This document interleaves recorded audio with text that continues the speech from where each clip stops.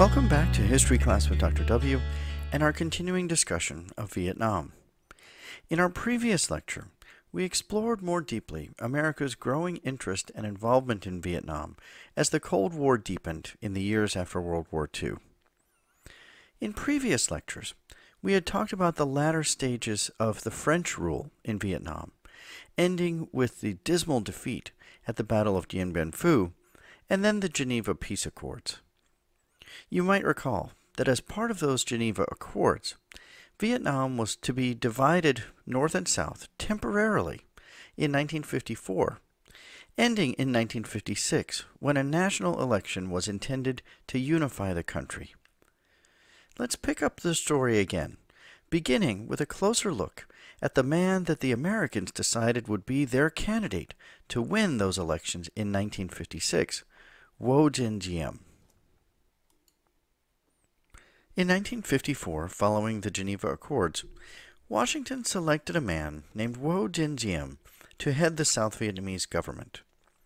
Diem was born in 1901, the son of a wealthy member of the former imperial court. He was Catholic, went to law school in Hanoi, performed brilliantly, and rose quickly in the provincial government. Diem offered an attractive combination to the Americans.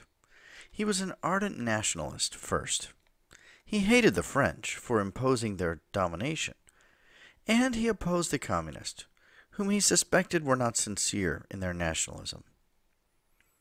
He worked for a time under Bao Dai, but grew frustrated when his policies and ideas were not accepted, and he himself was never truly accepted by the French. He resigned and retreated from public service until tapped by the Americans in 1954. In 1951, he traveled to America and campaigned for Vietnamese independence. He traveled widely, speaking at colleges and to various politicians, and began to develop a name for himself. As the Americans planned to replace the French in Vietnam, in search of a candidate to replace Bao Dai, they settled on Diem. They knew he wasn't perfect. He lacked public support, and he wasn't well known in Vietnam. He was relatively inexperienced. He had an odd personality, and as we'll see moving forward, he ultimately became unreliable, and some might say he even went crazy. In June of 1954, at the urging of the Americans, Bao Dai appointed Diem Premier of South Vietnam. Bao Dai remained on as emperor, but was merely a figurehead. Diem found that the government he had been assigned to lead was rickety at best. It was inefficient and included much corrupt bureaucracy. The army was demoralized and of questionable loyalty, and the capital city was divided and chaotic. With the elections to be held in only two years, it was expected that Diem might very well lose. He was something of a lame duck even before he began. Throughout this period, the French were still nominally in control in Vietnam, but the Americans moved to circumvent them. They began sending aid directly to Diem and his offices, rather than to French officials. Diem was able to survive these early difficulties and trials, in part by aid from U.S. Air Force Colonel Edward G. Lansdale, who headed a CIA group sent to advise Diem. Lansdale worked against Diem's political opponents by threatening to cut off all U.S. aid if they didn't support Diem, and those opponents began to begrudgingly support him. He also helped advise Diem in handling a massive migration of people from North Vietnam. During the initial period after Geneva, both sides resettled. Hundreds of thousands of people came south, most of them Catholics. The United States hoped that these refugees would offer a base of support for Diem, and also they were a compelling image of the Cold War. The United States media played up the pictures of millions fleeing from communism. Lansdale's CIA agents encouraged the migration. They dropped leaflets encouraging them to leave the North, and provided ships and transportation to bring them south. Several hundred thousand came south by these methods. These Catholics from the north became an important part of Diem's political base, which had been slim at best. In return, many of them were given appointments in the Diem government. Lansdale's team also smuggled in radios, arms, and supplies for Diem's troops. Diem further encountered problems in the spring of 1955 when he continued to try to consolidate control of his government. He confronted opposition from a number of powerful and influential groups.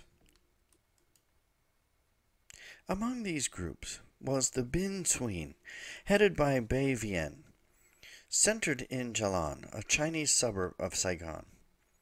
This was essentially a mafia-like operation, controlling an underworld empire. Under Bao Dai's government, the Xuyen provided large bribes and payoffs to carry out their activities unchecked. They had an army of some 25,000 people. Bao Dai even appointed Bay Vien as the chief of the national police, with authority over gambling, prostitution, and opium traffic, even as he traded in these very same things. Diem also faced an uprising from the Buddhists in South Vietnam. There were two major sects among the Buddhists. The Cao Dai sect, which blended traditional Buddhist and Christian beliefs with a worship of films. Believers prayed to Buddha, Confucius, Jesus Christ, and Charlie Chaplin. By the early 1950s, this sect claimed about 2 million followers and an army of 25,000 troops. The other major sect was the Hoa Hao, which similarly blended traditional themes, but in this case with the worship of Vietnamese nationalist heroes. They claimed about 1.5 million followers and about 15,000 troops. All of these groups had enjoyed relative autonomy under the French, and in fact had opposed the Viet Minh during the Indochina War. They were accustomed to French rule, and thus opposed Diem and didn't support him.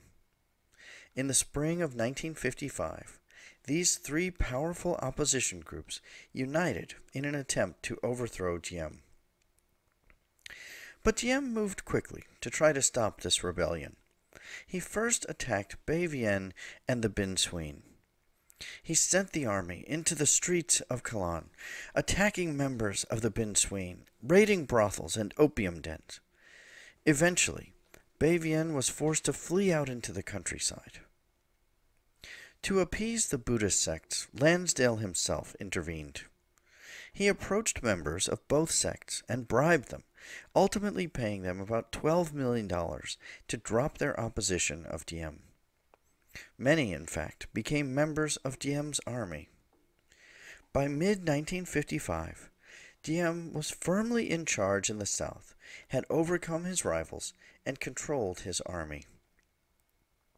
Nonetheless, a report from a U.S. official in Saigon at that time reflects the future of the Diem government. This man was named General Collins, and he wrote, I still feel that even if Diem manages to suppress the Binh Xuyen, this will not change his own basic incapacity to manage the affairs of government. I am still convinced Diem does not have the knack for handling men, nor the executive capacity truly to unify the country and establish an effective government. If this should be evident, we should either withdraw from Vietnam because our money will be wasted, or we should take steps as can be legitimately taken to secure an effective new premier. With no obvious alternative apparent, Eisenhower and Dulles continued to back Diem. With Diem in control, and with the backing of the Americans, the French completed their withdrawal. In March of 1956, the last of the French troops left Saigon, ending nearly 100 years of colonial rule. Diem also got rid of Bao Dai, who was still the nominal emperor under the French. In October 1955, Diem called for a referendum, which was highly corrupt, and claimed a 98% victory. Bao Dai was unseated. Diem proclaimed himself the head of state of the Republic of Vietnam. Diem was charged with overseeing a very diverse and contentious population. In addition to the two Buddhist sects and the Binh Xuyen, there were members of the Viet Minh, estimated to number about a million during this period. There were traditional Buddhist monks, spread widely throughout the region, who did not look to either Saigon or Hanoi for political guidance, but who preached village autonomy. They just didn't like interference from the outside. There were also ethnic divisions. There were estimated to be about 1 million Chinese living in the region. There were about 600 Khmer, ethnic Cambodians, who resented the Vietnamese for their conquest of that group. And the Montagnards, a polyglot group living in the hills and jungles, among Catholics as well.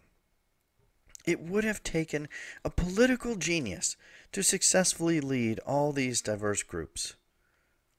And Diem was no political genius. In our next lecture, we'll continue this discussion of the various groups in Vietnam and opposition to Diem and how he addressed it.